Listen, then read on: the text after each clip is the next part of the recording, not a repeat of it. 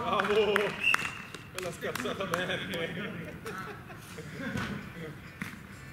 Ci ritrovo 100 volte.